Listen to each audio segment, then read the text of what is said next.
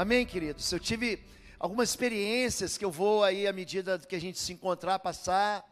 Visitei muitas igrejas, aproveitei para visitar, fui na, na Porter House, que é a casa do oleiro do Texas, uma igreja extraordinária, uma igreja do bispo T.D. Jakes, um homem que faz a igreja toda adorar o Senhor, um, um dos umas vozes proféticas, uma das vozes proféticas mais profundas, é, mais impactantes da nossa geração.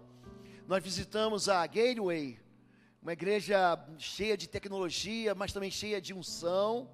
Tivemos lá visitando todo o campus, conversamos com o pastor presidente, ele nos recebeu com todo carinho. Nós visitamos também a primeira Batista de Dallas, uma igreja fantástica. Pensa um um lugar assim que você tem tudo, tudo que você pode imaginar para socorrer a vida de pessoas, para abençoar a vida de pessoas. E fomos na Lighthouse também, que é a igreja que meu filho está servindo, enquanto ele não vem e não volta para o Brasil. E durante a minha estadia fora, eu passei por aquele momento, que é o momento da mãe dar à luz. Minha nora eu descobri, eu relembrei que não é fácil.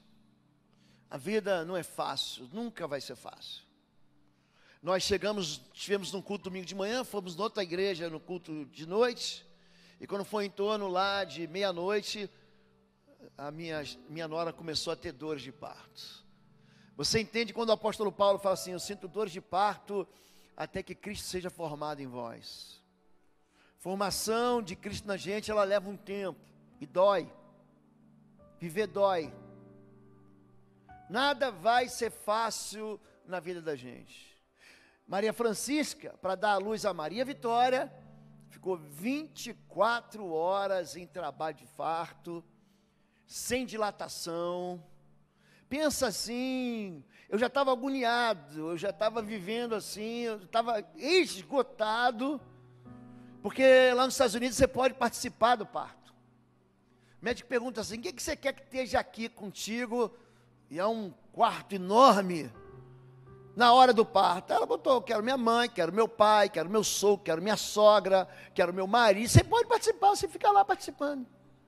Gente, é uma agonia e, e dói, e você dói demais. Quando Deus ele diz para a mulher: Olha, eu multiplicarei as dores do seu parto, Deus não estava brincando. Aí no dia seguinte, vem aquele bebezinho lindo, que dá vontade de você morder ele, de tão fofo que é, mas ela não consegue mamar. Eu estava conversando com a Clarissa, que é a nossa ministra do Estação Maternidade. Até para isso a mulher tem que aprender a amamentar. E já no segundo dia de amamentação, ela já não estava aguentando mais de dor. Porque o bebê que está ascendente, aquele né? Aquele bebezinho fofinho já estava machucando, porque não é fácil, gente. A vida não é fácil. E crescer, gente, é difícil. É difícil. Mas permanecer imaturo também é uma escolha que a gente faz. De enfrentar aquilo que não é fácil ou viver dentro do lugar da derrota. Você que escolhe.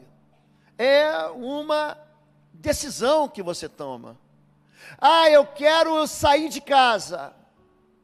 Então pode sair. Aqui em casa você tem tudo. Você tem comida, você tem roupa lavada, você tem o amor do seu pai, você tem o sustento de tudo, você tem o cuidado emocional, você tem o carinho. Não, eu não aguento mais, eu quero viver fora. Não, então vai. Se você está achando difícil ficar aqui dentro, você quer crescer, vai embora. Só que você vai pagar a tua conta, a tua luz, você vai pagar a tua internet, você vai pagar o teu telefone, você vai pagar o teu aluguel. Difícil. Eu vi o meu filho trabalhando, ele não tem férias. Americano não, não ganha férias. Ah, me, dá, me, dá, minhas férias. Não existe isso. Me dá minha, minha, minha licença paternidade, minha licença maternidade. Não, você pode tirar quantos dias que você quiser, mas você não vai ganhar nada. Você não ganha nada. Não existe uma recompensa porque você é pai, porque você é mãe, porque você trabalhou 365 dias no ano. Não, minha, tu tem direito à festa, você não tem direito é a trabalhar. Esse é o teu direito. E eu vi a dificuldade que é o que crescer.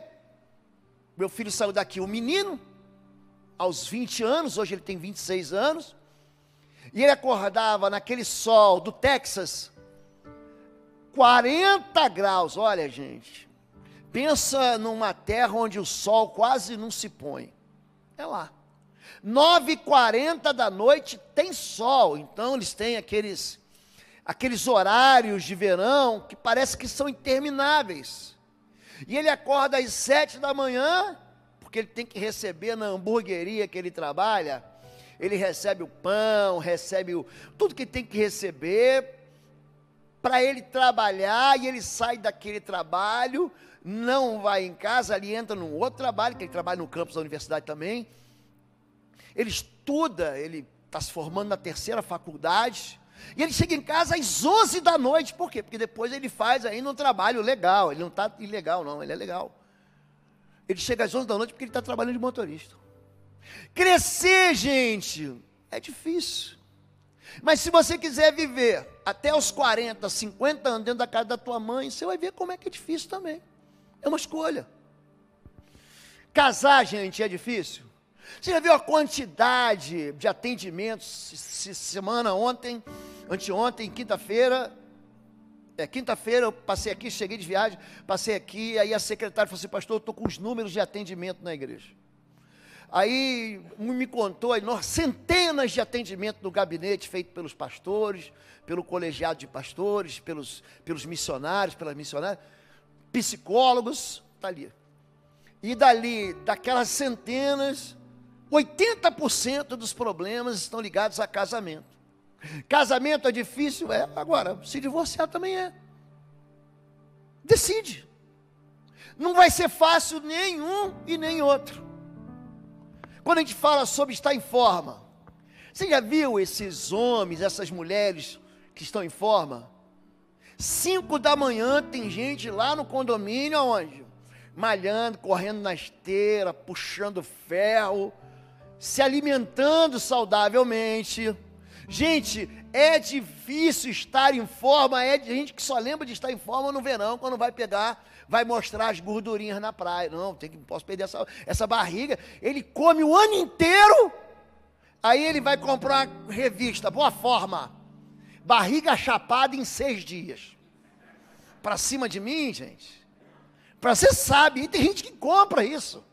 Tem gente que acredita nisso, quer dizer, pessoa acumula aquela, aquela quantidade enorme de gostosuras e não quer ser obeso. Agora, ser obeso também é. Procura lá o doutor Nal. Você já viu o doutor Nal? Não tem um programa que fala sobre isso? Quilos mortais? Ser obeso também é uma escolha. O que, que você quer? Você quer ter um, uma condição física que está em forma, que vai ser difícil, que você vai ter que começar a acordar às 5 da manhã para malhar. Aliás, não, às 5 da manhã você não vai ter que acordar, você vai ter que estar na academia. Porque às 7 da manhã você vai ter que estar no trabalho. Não vai ser fácil. Ter sucesso nos negócios. Pergunta para quem? Warren Buffett. Ter sucesso nos negócios. Pergunta para alguém que venceu nos negócios se é fácil. Gente, não é fácil não. Agora, quebrar também não é. Você já quebrou? Já perdeu uma empresa? Já perdeu um negócio? Já faliu? A escolha é sua. Ah, não quero estudar. Então, querido, quebra. É uma decisão sua. Por quê? Porque não vai ser fácil. Não existe o evangelho da moleza. Jesus teve que morrer na cruz. Você não entendeu isso? Trabalhar é muito difícil. Agora, não ter dinheiro também é. E aí, Vai almoçar hoje? Aonde? Não, não sei, estou esperando meu cunhado me convidar para o churrasco. Gente, trabalhar é difícil? Claro que é difícil. Agora, não ter dinheiro também é difícil. É uma decisão. Por quê? Porque é no suor do teu rosto que você vai ter o teu sustento. Mais cedo ou mais tarde, você vai ter que começar a trabalhar. Não tem jeito nem que seja trabalhar para sobreviver pelo pão de cada dia. Ser disciplinado, gente, é difícil, é. Vocês chegam aqui, aí, 10 da manhã vocês estão aqui. Só que muito mais cedo o time da intercessão está orando por você. Já estão aqui, disciplina. E não faltam, não, gente. E muito mais cedo o time do louvor está aqui preparando esse louvor, que você está, ai, que louvor maravilhoso, que unção. Gente, unção dá trabalho. Dá trabalho. Não é mágica, peraí, toma unção e brilha e vive. Você vai viver, viver a experiência de ser um cantor, um tecladista, um guitarrista. Pergunta para o Wesley. Wesley tem lá na casa dele uma coleção, seis, sete, oito filhas, que ele chama, são as guitarras dele. Dá trabalho, porque ele também tem que trabalhar para comprar aqueles negócios. Dá trabalho, gente. Então, quando você olha para a vida, Tom Brady é o campeão do futebol americano. O cara foi campeão seis, sete vezes, eu não sei, como quarterback, aquele lançador de bolas. Ele escreveu um livro, eu ganhei esse livro. TJ12, o número dele é 12. E aí, é um livro, gente, que só de olhar para o livro você cansa. Não é possível isso aqui. É um homem disciplinado. Ele dorme todo dia às oito da noite. Ele acorda todo dia às quatro da manhã. Disciplina. Cristiano Ronaldo. Cristiano Ronaldo é um homem que está beirando daqui a pouco os 40 anos. Ele não é jogador de futebol, ele é um atleta disciplinado. Jogador de futebol, quem é? Ronaldinho. Ronaldinho Gaúcho. Joga ah, fenômeno. Ele pega a bola, faz quicar a bola, bota no ombro, bota na cabeça, bota, faz gol de canela, faz gol de calcanhar, faz gol de letra, e tá lá com aquela barriguinha, aquela pancinha dele, não tá? Ele tá que nem um barrilzinho, não tá? Por quê? Ele termina o jogo, vai para farra. E Cristiano Ronaldo termina o jogo, ele vai para casa, entra numa banheira de gelo, faz, faz recuperação muscular. E é por isso que o Ronaldinho parou de jogar com 30 e poucos anos e o, Cristiano Ronaldo está jogando até os 40. Gente, ser disciplinado dá trabalho? Dá. Agora, não conquistar os objetivos também dá. Também é difícil. A vida não é difícil. Organiza, pastor, estou endividado. Querido, a gente oferece para vocês aqui, Fabiano, Maurício, um curso para organização financeira. É difícil se organizar financeiramente? É, por quê? Porque o ser humano ele vive de desejos que não são completos. O ser humano quer coisas. Aí você fala: "Não, eu vou trabalhar para conquistar um objetivo". Só que no meio do caminho, você fica distraído, aí aquele objetivo vai embora, por quê? Porque você não é organizado. Agora, viver endividado também é uma escolha. Vencer gigante, gente, é difícil? É. A história de vencer gigantes não está lá em 1 Samuel 16 só, quando Davi vence o gigante. Ela começa antes. Quando Deus fala para o seu povo: vocês vão entrar numa terra, e nessa terra é terra de gigantes. Você vai ver homens grandes como os carvalhos, você vai ver muralhas maiores, mas não tenha medo. Eu vou estar com você, mas não vai ser fácil. Deus nunca prometeu para o povo de Israel assim, não, vai ser molezinha. Jesus nunca falou para a gente assim, ó, sopa, é sopa no mel. Não, gente. Uma guerra difícil, ela é ganha com um treinamento difícil. Eu tive um comandante que ele sempre falou para mim: treinamento difícil faz a guerra ficar fácil. Por quê? Vencer gigantes é difícil, é. Mas morar no deserto também é. Ficar escravizado no Egito também é difícil. O povo de Israel sai do Egito, e aí Deus dá uma molezinha para eles. Manda uma praga, manda duas, manda três, manda seis pragas. E ali num determinado momento, os próprios conselheiros do faraó, que mantinham o povo de Israel escravizado, falam o seguinte: manda esse povo embora. O Egito está de joelhos, a terra está arrasada. O faraó não manda, vão, eu não vou liberar eles. Aí Deus manda mais o sétimo, oitava, a nona, e a décima praga, a praga do sangue do cordeiro, a praga dos primogênitos. Deus abre o mar, Deus caminha do lado do povo como uma nuvem durante o dia, uma coluna de fogo durante a noite. Deus ele vai ficando presente demais. Aquele povo abandonado, aquele povo esquecido, aquele povo escravo, 400 anos, aquele povo que nem acreditava mais que um Deus podia vir visitar eles. Aquele povo começa o que? A experimentar a presença de Deus, os livramentos de Deus, caía pedra no Egito, aí no acampamento dos judeus não caía pedra vinha desgraça, a água na casa do faraó virava sangue, a sua cama cheia de rães, e a água do povo de Israel? Não, água doce, mineral.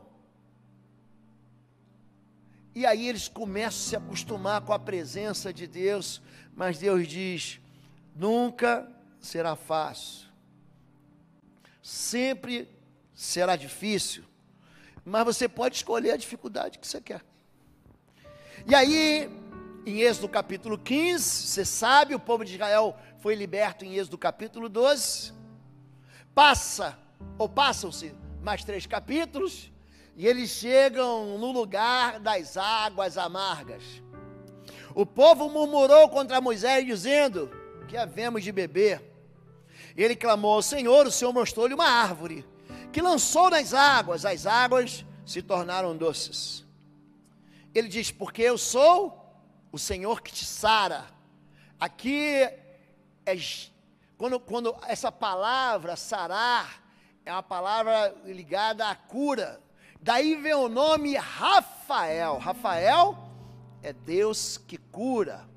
O Jeová Rafa, ele é o Deus que cura. O Elohim Rafa, ele é o Deus que te sara. Essa palavra Rafa ela significa cura, remédio, bálsamo, é um, é um assunto medicinal que trata as feridas do povo, e Deus ali, ele sara as águas, e ele começa a se revelar, a revelação de Deus, é, ela vai sendo distribuída, vai sendo salpicada, e aí o povo de Deus vai, vai conhecendo Deus de um jeito, e esse é o Senhor que me provê, é o Jeová Jireh. E Deus ouviu o meu lamento, Deus estava perto de mim. Esse é o Jeová chamar, é o Deus que está perto. E o Senhor venceu os exércitos inimigos, eu nem precisei lutar. Esse é o Jeová Sabaote, é o Senhor dos exércitos. Deus vai se mostrando, Deus vai mostrando seus atributos para o seu povo à medida com que ele vai caminhando com o seu povo. E aqui Deus leva eles para um lugar onde não havia mais amargura, mas eles experimentam amargura. Eles experimentam o que é caminhar três dias. E aí, gente, naquele tempo, você pensa que era camelo, não, era lombo de burro. E o burro, ele caminha no deserto quatro dias sem água. Mas o boi não. O boi, ele chega uma hora que ele está no limite da caminhada. As crianças, não tinha como levar um caminhão-pipa. Então o que eles levavam? Eles levavam aqueles cantis feitos de peles de animais e caminhavam um dia, dois dias e três dias no deserto, a água acabava. E aí eles ficavam esperando uma vertente de água, um olho d'água, uma fonte de água, e quando eles chegam na fonte de água, essa cidade é chamada de Mara. Mara por quê? porque eles encontram uma água amarga. É uma água intragável. É por isso que o nome da cidade é Mara. Noemi, uma personagem bíblica de fé, é uma mulher li do livro de Ruth, ela vem a ser a sogra de Ruth, e para você que faz piada de sogra, você vê que tem sogra, gente boa como Noemi. Mas Noemi ela perde tudo. Tem fome em Israel, ela vai para o outro lado do Jordão, vai para Moabe, perde Elimeleque, o marido dela morre. Os filhos dela, Quilom, Malom, morrem também. Ela fica desamparada. E quando ela volta para a terra dela com uma mão na frente e outra atrás, fala assim: fali, perdi tudo, perdi sustento, perdi marido, perdi filho, perdi alegria. Não me chame mais Noemi, me chame Mara porque o Senhor tem trazido amargura para a minha vida.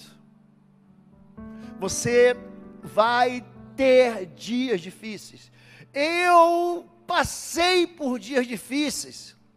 A gente, para crescer, a gente precisa disso. Existe uma vida cheia de provações. Êxodo 16, olha o que, Deus vai falar no capítulo seguinte: no deserto, toda a comunidade de Israel murmurou a Moisés e Arão.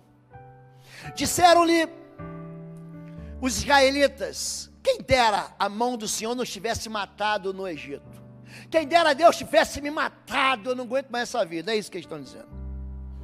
Lá nós sentávamos ao redor das panelas de carne e comíamos pão à vontade, mas vocês nos trouxeram a este deserto para fazer morrer de fome toda essa multidão. Disse, porém, o Senhor a Moisés: eu lhes, eu lhes farei chover pão do céu. O povo sairá e recolherá diariamente a porção necessária para aquele dia. Com isso, os porei à prova para ver se ando em minha lei ou não. A gente começou o culto com o testemunho do nosso pastor. Ele foi provado quando tinha oito anos de idade, quando ele sentou na mesa na véspera do Natal para comer um macarrão com sal. O nome disso é dia mal. A Bíblia fala sobre o dia mal? Fala. Tomem toda a armadura de Deus, para que possais resistir ao dia mal. Quando Jesus nos prepara com sabedoria, ele usa uma palavra muito interessante, ele fala aquele que constrói a casa sobre a rocha é um sensato. Porque vai vir tempestade, vai vir vento, vai vir chuva, mas a casa vai ficar firme na rocha. Mas se você construir a casa sobre a areia, no dia da chuva, no dia mal, no dia da tempestade, a tua casa vai, vai cair. O que ele está dizendo? Que existem princípios que ele está falando ali no Sermão do Monte. Princípio para a tua vida pessoal, princípio para a tua vida de relacionamento com as pessoas que te magoam, princípios de perdão, princípios de recomeço, princípios de relacionamento dentro de casa com filhos, com pais. Ele fala: se você ouve e pratica. Não é achar bonito o sermão, é usar o sermão. Eu aprendi com um pastor que tudo aquilo que você ouve no domingo, na quarta-feira, na mensagem, que você não coloca em não coloca em ordem, não resolve obedecer, em três dias aquela mensagem é roubada de você. Você pode sair do culto impactado, mas se você não decidir colocar em prática, aquilo tudo vai por água abaixo. E quando a gente fala sobre sabedoria, sobre gente sensata, Deus está falando e, e Ele está dando para a gente um sinal. Ele pega a bússola e fala: você vai seguir um caminho aqui, mas preste atenção, você vai ser provado. Então vai ter dia que você vai comer macarrão com sal, é isso. E eu quero ver se você vai ser, para mim, somente um crente que me obedece quando tudo dá certo. Eu vou te provar se você, quando tudo der errado, se você vai continuar me obedecendo. Aqui o povo de Israel falou assim: é o nosso fim. Tudo deu errado, porque a gente estava tomando chicote, a gente tava, não tinha sábado, não tinha descanso, não tinha mais trabalhava de domingo a domingo, de segunda a segunda, não tinha esse negócio de descansar. Aí Deus prometeu para a gente um monte de coisa, e quando a gente vai chegar, porque a caminhada, se você for a pé, do Cairo no Egito até Jerusalém, você vai caminhar só seis dias. Vocês sabiam disso? Eu já preguei isso aqui para vocês.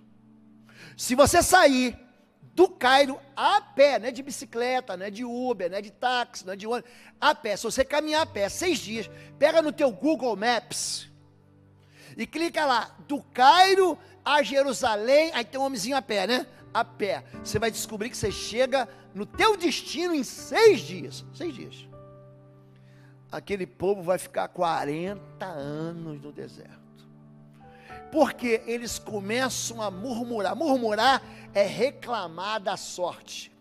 Murmurar é você dizer que Deus, Ele é incompetente para fazer aquilo que Ele prometeu fazer. Você começa a reclamar do caminho que Deus te deu, do marido que Deus te deu, do filho que Deus te deu, do trabalho que Deus te deu, do dom que Deus te deu. Você começa a reclamar de Deus e aqui, gente, vai acontecer um negócio. Uma porta de desgraça vai acontecer. Quando? Quando você murmura, Deus leva para o lado pessoal, porque você está desconfiando de Deus. Em 1 Coríntios capítulo 10, a partir do verso 9, o apóstolo Paulo, ele vai pegar exemplos do povo de Israel, lá do Antigo Testamento, para aplicar hoje, no dia de hoje, de gente que vive no Novo Testamento. Ele vai falar: olha, cuidado com a cobiça, cuidado quando você quer ter aquilo que não é teu. Não cobiçem como cobiçaram os vossos pais e pereceram. Cuidado com a idolatria. Não me reduza. Não tire a minha grandeza. Quando Deus diz: Não terás outros deuses além de mim, algumas versões diante de mim, Ele está dizendo assim: Eu sou incomparável. Você não pode me comparar a nenhuma das coisas criadas, sejam animais, sejam seres humanos, eu não posso ser representado, porque você vai estar tá tentando encolher a minha grandeza. Deus diz: cuidado com a cobiça, cuidado com a imoralidade, isso vai afetar a tua história. E ele vai dizer: não tente ao Senhor não tentar ao Senhor é dizer que Deus é incapaz de cumprir a sua promessa. Você está dizendo para Deus que a palavra dele não tem credibilidade. Gente, pensa um negócio que deixa Deus irritado. Como é que é? Você está dizendo que eu não vou fazer aquilo que eu prometi que eu vou fazer? E no final ele fala: não murmureis. Como murmuraram e foram destruídos pelo destruidor o povo no deserto. A murmuração, gente, ela fica diante de Deus quando quando você começa a dizer para Deus que o caminho que, ele, que você tem é um caminho melhor do que o caminho que Deus te deu. Isso é murmuração. A prova ela investiga o coração da gente. A prova faz com que Deus pegue uma lupa e coloque essa lupa sobre a tua vida, assim, ó, para ver até onde vai a sua fidelidade. Lembre-se, Deuteronômio 8, de como o Senhor, o seu Deus, os conduziu por todo o caminho no deserto. Durante esses 40 anos, para humilhá-los. Olha para mim, gente. Há um orgulho dentro de nós. Há uma soberba que nasce junto com a gente dentro de nós. E Deus nos humilha. Ele faz isso para nos tornar iguais a Jesus. Pô-los à prova a fim de conhecer suas intenções, se iriam obedecer aos seus mandamentos ou não. Assim, ele os humilhou, os deixou passar fome, os deixou comer macarrão temperado com lágrima na noite de Natal. Foi Deus, pastor Marco. Foi Deus, não foi uma crise econômica. Não foi falta de apoio da igreja, não foi falta de apoio do governo. O governo ajuda, a igreja ajuda, mas Deus tinha um propósito aqui. Mas depois o sustentou com maná. Era um pão que descia do céu.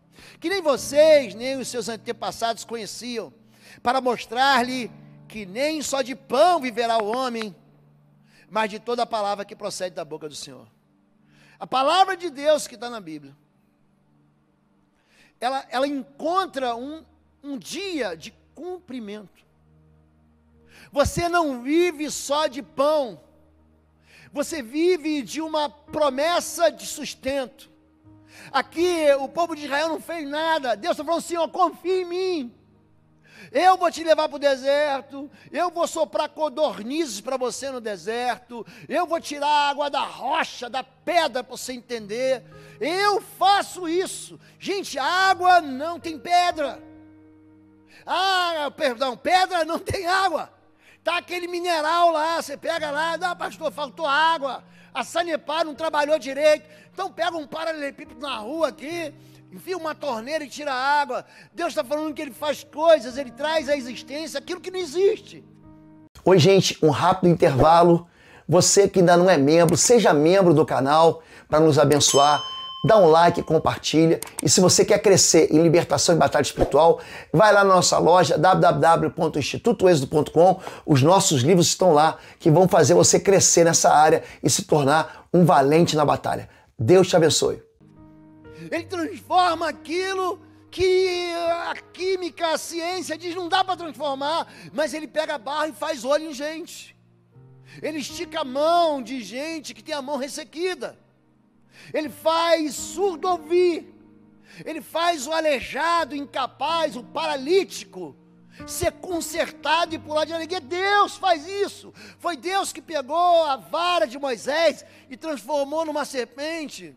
Foi Deus que pegou a pele de Naamã, o leproso, e transformou numa pele de criança.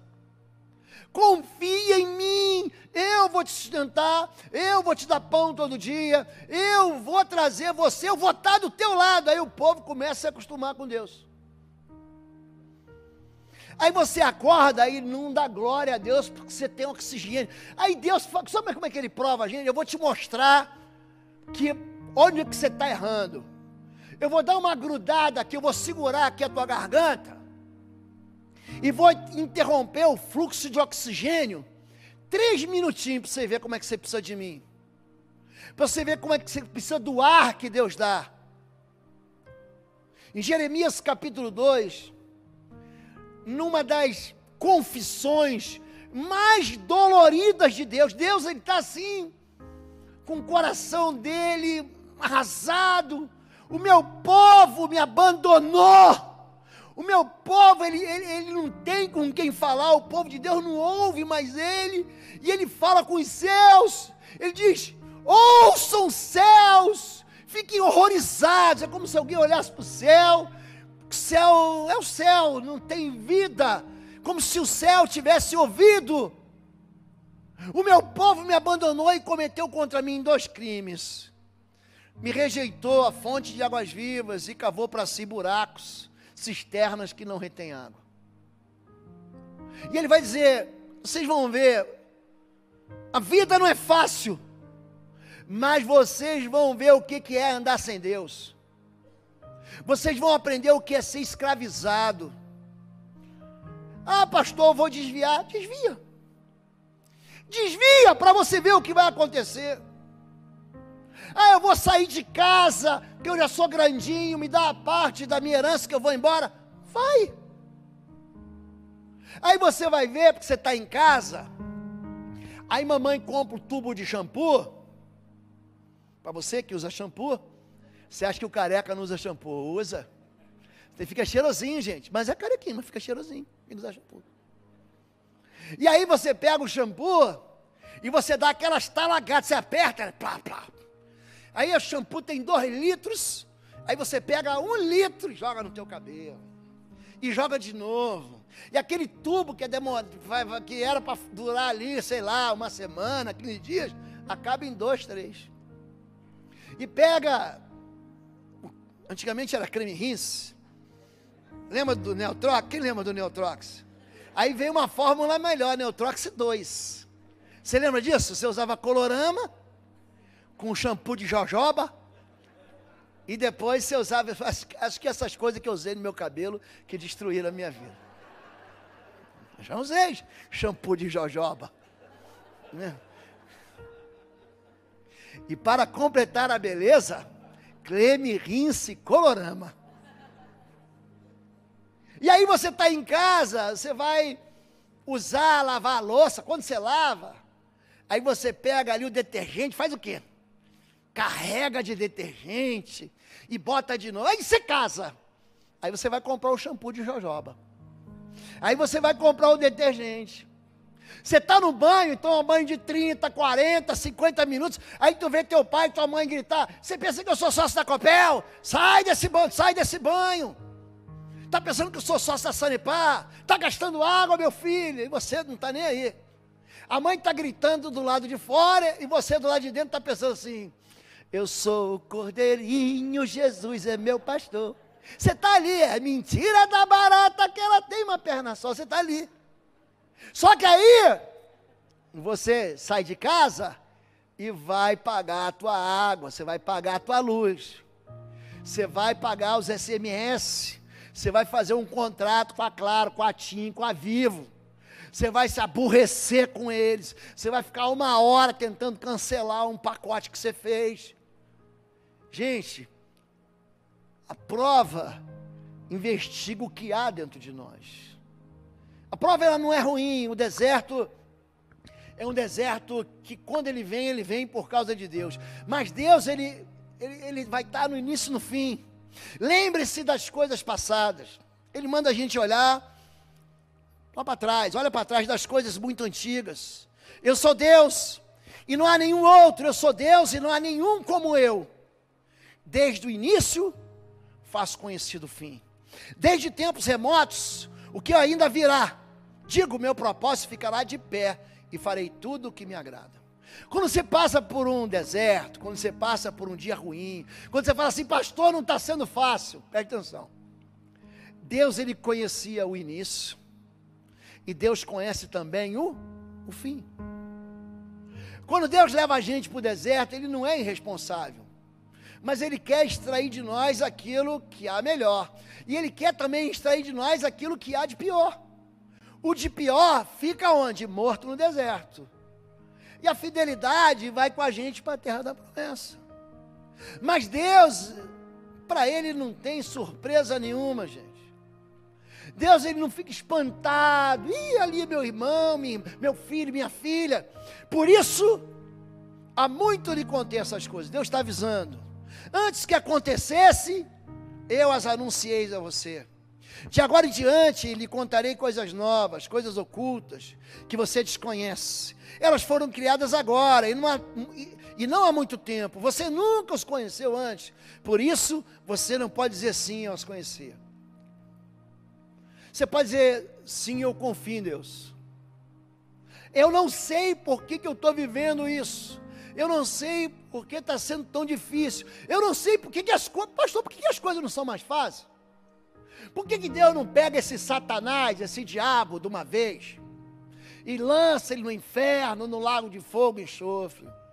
Por que, que Deus não resolve o problema da humanidade e pega ditador, pega assassino, pega os ladrões?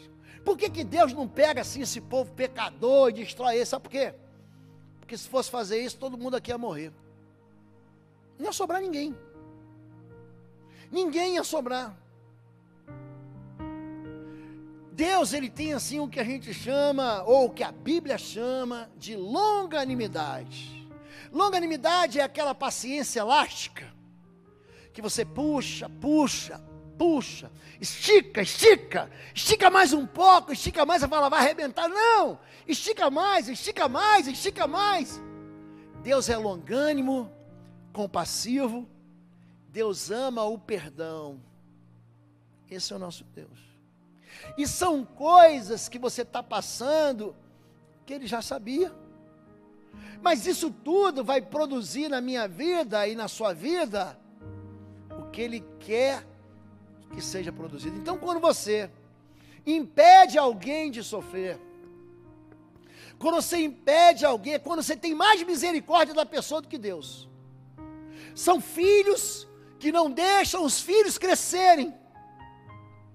Ou são pais, perdão, que não deixam os filhos crescerem.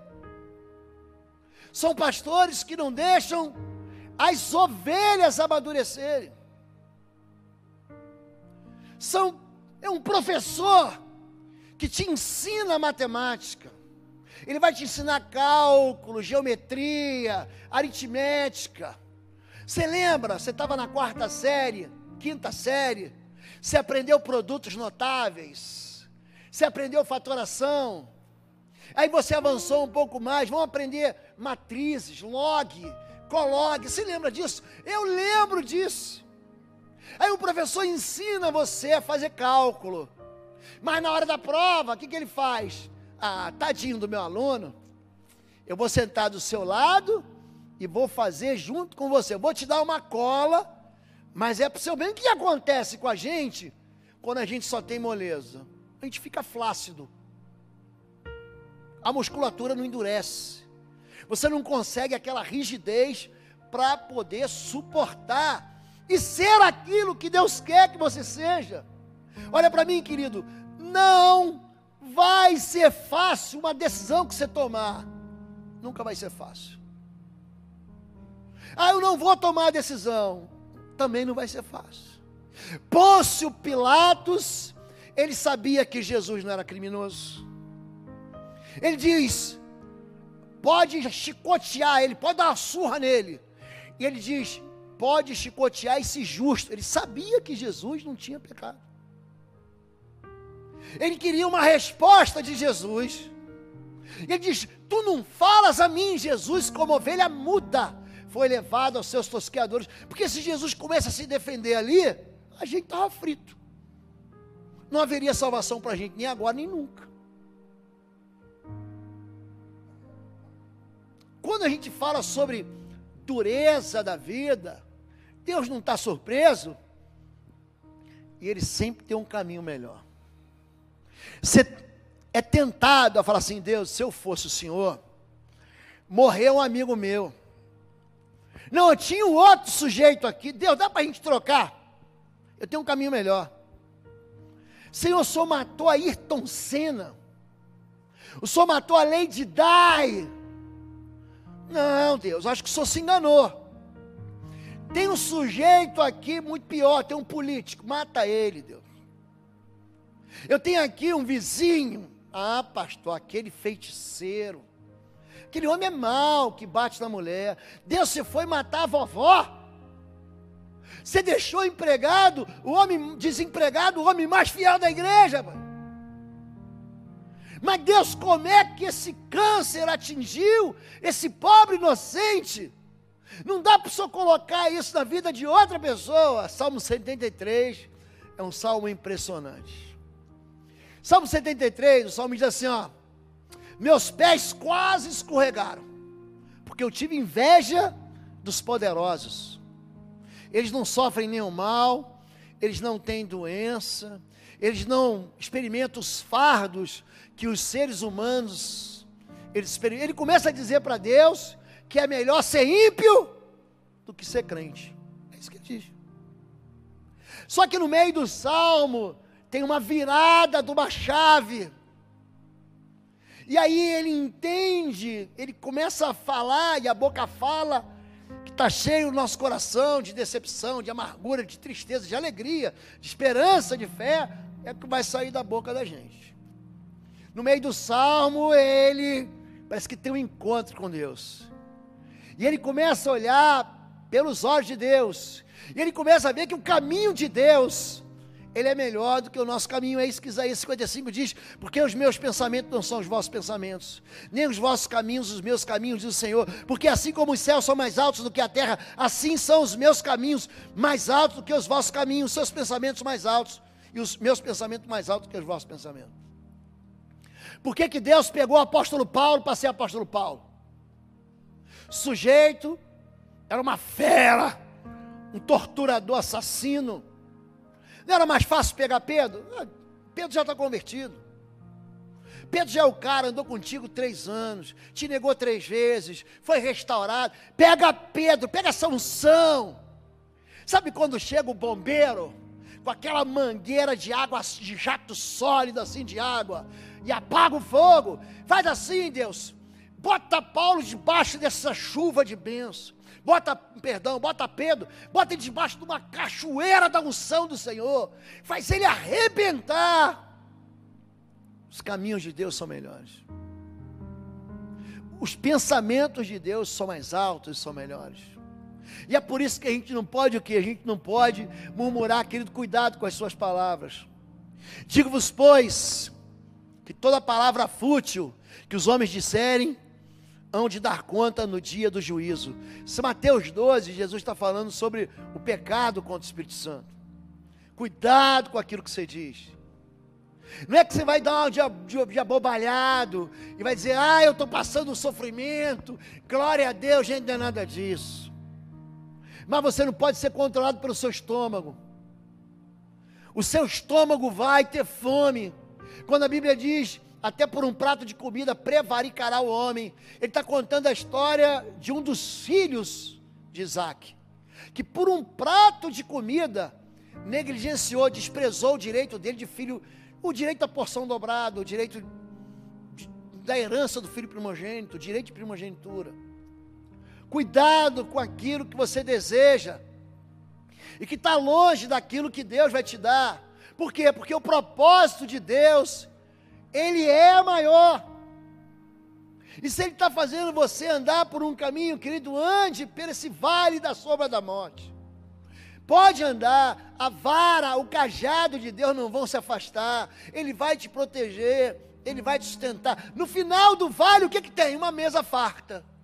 Prepara uma mesa farta diante dos meus adversários, faz o meu cálice transbordar. Eu vou habitar para sempre na casa do Senhor.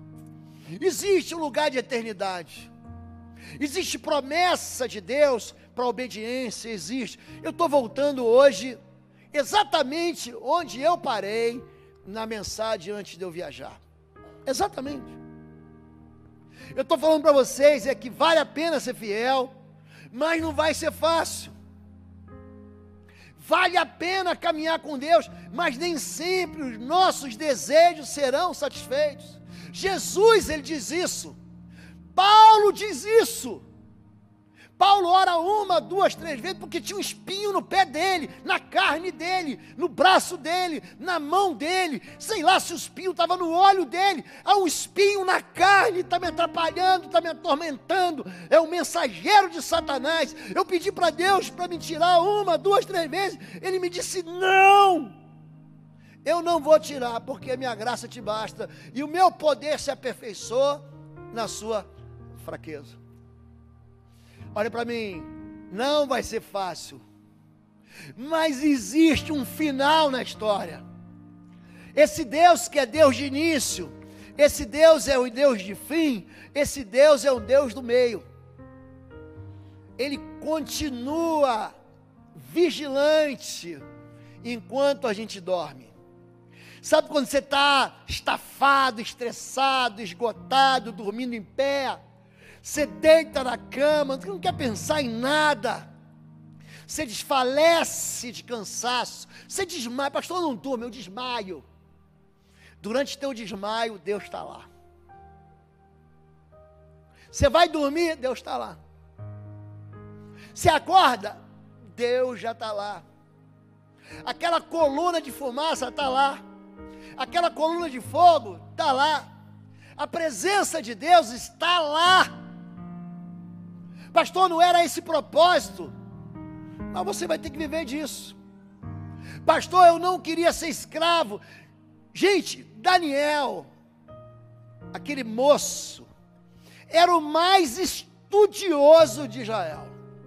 Quando ele separa os quatro, Daniel, Misael, Ananias e Azarias, que recebem apelidos horrorosos, Beltesazar, Sadraque, Mesaque Abdinego, eles são sequestrados para nunca mais voltar. Não é que ele foi sequestrado, não vão pagar o resgate, eles não voltam não, gente. Eles vão ser escravos servindo na corte para sempre.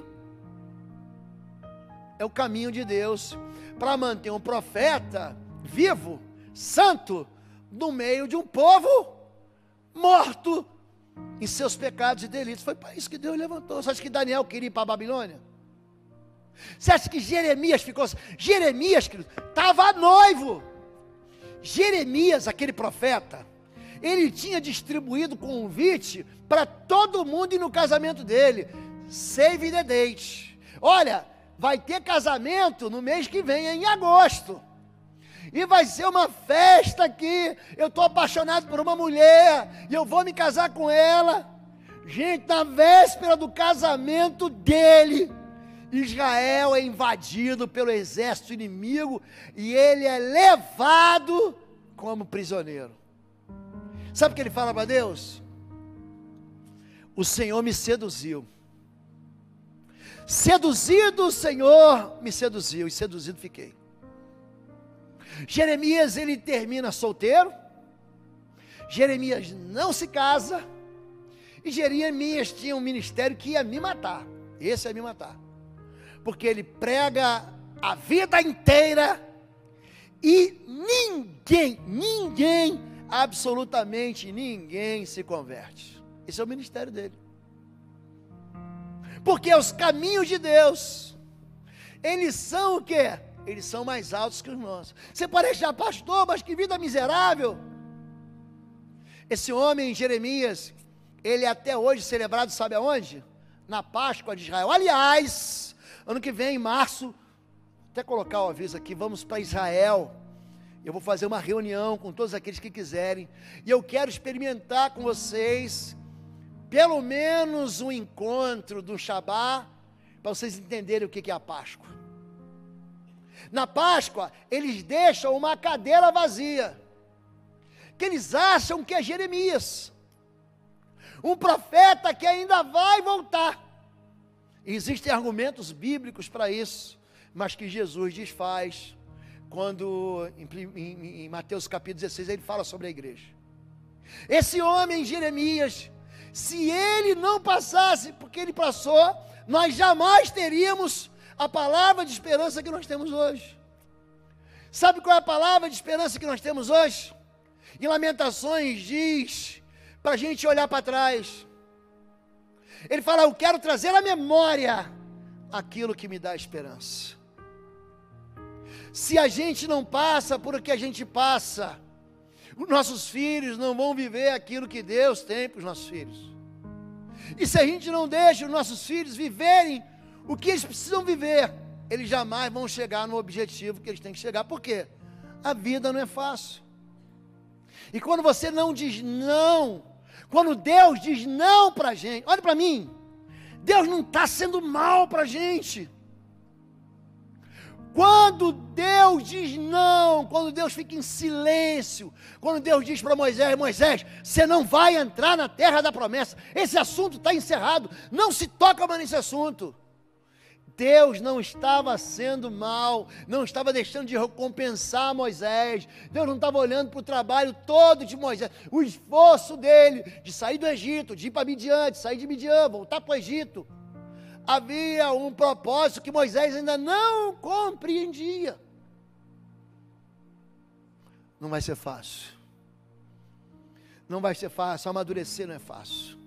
Ser disciplinado não é fácil Ser organizado não é fácil. Gerar discípulos não é fácil. Viver para a glória de Deus não é fácil. Dizer não para os desejos não é fácil. Vencer a tentação não é fácil. Pedir perdão não é fácil. Se perdoar não é fácil. Ninguém disse que ia ser fácil. Vencer gigantes não é fácil. Viver no deserto não é fácil. Ser escravo o resto da vida não é fácil. Beber sem parar e tornar a sua vida e a sua família uma desgraça por causa do seu alcoolismo não é fácil. Ficar internado nove meses, um, um ano dentro da casa de recuperação para alcoolistas não é fácil. Viver sem experimentar sabores não é fácil. Viver endividado o resto da sua vida não é fácil a decisão é sua. Existe um chamado de Deus para mim e para você, de viver aquilo que Ele tem chamado você para viver. Vamos ficar em pé e vamos orar em nome de Jesus. Deus continua falando, gente, sim ou não? Eu fui dormir de madrugada, acordei bem cedo e fiquei meditando nessa palavra e vai ser a palavra que eu vou continuar ministrando à noite. Eu falei para Deus, Deus, realmente não é fácil. Mas nada é fácil. Então a minha decisão é viver com o Senhor. Viver com o Senhor todos os meus dias. Minha decisão é escolher viver para o Senhor todos os meus dias. Feche teus olhos em nome de Jesus. Feche teus olhos e não deixe essa palavra escapar do seu coração. Feche teus olhos e não deixa que os sofrimentos que você viveu, vive e poderá viver, não deixa você imaginar que foi obra de uma pessoa, que foi conspiração de uma mulher, que foi o teu pai, que foi o teu filho, que foi teu inimigo, não foi. A tua vida sempre teve oculto em Deus. Sempre. Todos os teus projetos sempre tiveram, ele estava no início e no fim. E ele vai estar sempre no meio. Você está passando por um momento de dificuldade, qualquer momento. E você quer dizer para Deus: Deus, eu preciso continuar perseverando. Nós vamos orar por você hoje. Eu quero chamar aqui o time da intercessão aqui na frente também os pastores. Maurício vem cá também. Quero chamar o time da intercessão, os pastores, e a gente vai orar por você. Nós vamos cantar uma canção. Pastor, eu estou vivendo dias difíceis. Nós vamos orar por você. Pastor, eu vivi dias difíceis e eu não consegui compreender. Eu não consegui entender os dias difíceis. Nós vamos orar por você. Pastor, eu tenho pessoas na minha casa que estão vivendo dias difíceis. Nós vamos orar por você. Deus, eu eu quero trazer a memória, eu não consigo lembrar de nada bom na minha vida. Nós vamos orar por você. Deus, eu eu preciso restaurar a minha esperança, apesar de não ser fácil. Nós vamos orar por você. Enquanto nós estivermos cantando, todos vocês saem do seu lugar, pega na mão da sua esposa, do seu marido, da sua filha, da sua amiga, do seu irmão, da sua namorada. Você não precisa nem pegar na mão, convida ele, vamos lá, vamos orar juntos. E a igreja vai orar por você em nome de Jesus. Saia do seu lugar, vem aqui à frente em nome de Jesus. Amém. Vamos orar. Você pode orar comigo? Os intercessores vão ficar aqui após o culto orando por vocês ainda. Pai querido, nós queremos confessar nossa fraqueza diante do Senhor.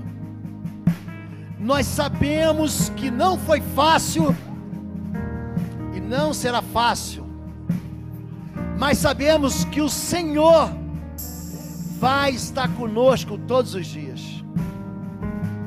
Dificuldades que nós experimentamos são pelos erros também que nós cometemos, mas o Senhor não leva em conta os nossos pecados. O Senhor é Deus de recomeço. Isso é Deus que pega as pedras queimadas, enfraquecidas, e transforma em muralhas de defesa. É o Senhor que faz de nós gente que negou o Senhor, gente que se afastou do Senhor, gente que fez escolhas distantes das suas escolhas gente que caminhou tanto tempo no deserto. É o Senhor que tem um encontro conosco para nos levar para a terra da promessa.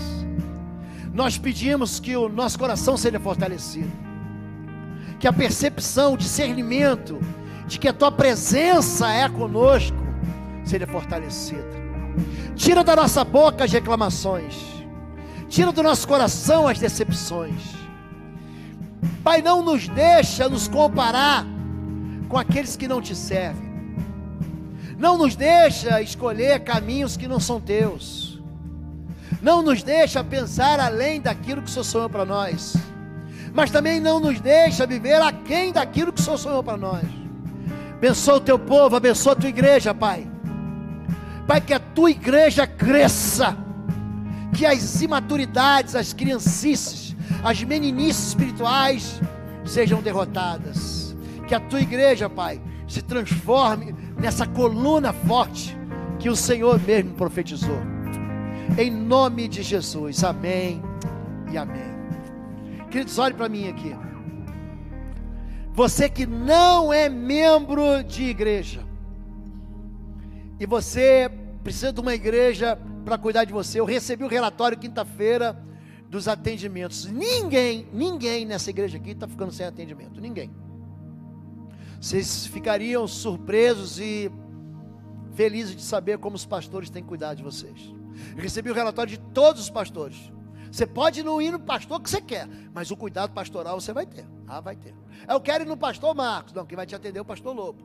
Eu quero ir na pastora Fabíola. Quem vai te atender é a irmã Dulce. Eu quero ir na doutora Anne. Não, quem vai te atender é a Lília do Jaime. Eu quero ir no pastor João. Não, quem vai te atender é o pastor Paulo. Todo mundo está sendo cuidado. Todo mundo. Nós vamos visitar todas as células nós vamos tentar ir pelo menos na reunião das suas casas. Se você não tem igreja, você precisa de igreja. E o local que você está é uma igreja saudável, mergulhada na palavra de Deus, num louvor que abençoa a sua vida e num cuidado pastoral que você vai ter desde o seu pequenininho na maternidade até o seu pai, seu avô, seu bisavô no Alfa e Ômega. Se você não tem igreja, busca o pastor Paulo, ele está ali no final do culto, está ali na porta. Cadê a foto dele? Tem uma foto dele. Ele ficou tão bonito nessa foto. Bom, você tem uma foto aqui do pastor Paulo?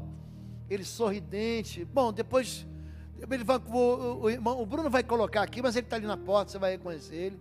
Se você não foi batizado, nós estamos preparando o batismo para o final do mês que vem, ou início do mês de setembro, que aí o inverno já a gente acredita que foi embora seja batizado. Se você é membro de outra igreja, leva um grande abraço para o seu pastor, cuide dele e abençoe ele. Amém, gente? Levanta a sua mão.